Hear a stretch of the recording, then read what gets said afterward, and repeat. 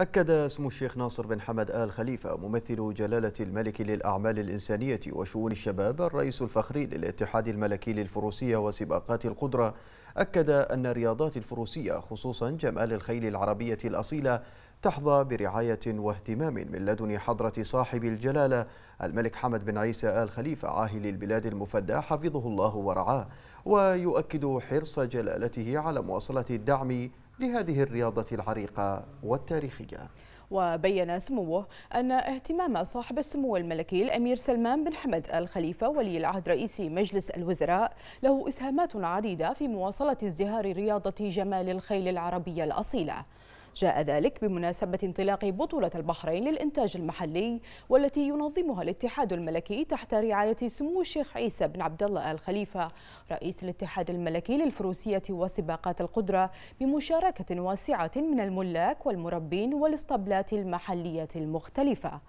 وأشار سمو الشيخ ناصر بن حمد الخليفة أن بطولة البحرين للإنتاج المحلي تأتي امتدادا للنجاحات المتواصلة التي حققها الاتحاد الملكي للفروسية وسباقات القدرة في تنظيم مختلف البطولات خلال الفترة الماضية وتماشيا مع الرؤية الهادفة إلى تأكيد مكانة المملكة في بطولات جمال الخيل وتأكيد قدرة المالك البحريني على التنافس القوي من أجل تحقيق المراكز المتقدمة. وهو ما ينعكس إيجابا على مشاركاته الخارجية.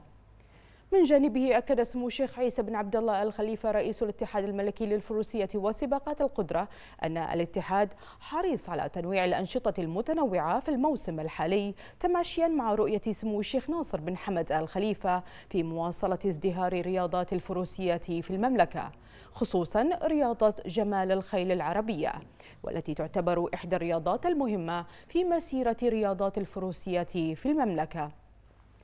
وأوضح سمو الشيخ عيسى بن عبد الله الخليفة أن الاتحاد الملكي يحرص دائما على تنظيم مختلف البطولات لجمال الخيل العربية حيث أن مملكة البحرين يرتبط تاريخها العريق واسمها منذ القدم كأكبر معاقل الخيول العربية الأصيلة وما زال إلى يومنا هذا. حيث أن البطولات التي ينظمها الاتحاد تساهم بشكل كبير في مواصلة كتابة التاريخ والمحافظة على مكانة المملكة في الإنتاج المحلي. وتمنى سمو الشيخ عيسى بن عبد الله الخليفة كل التوفيق والنجاح لكافة المشاركين.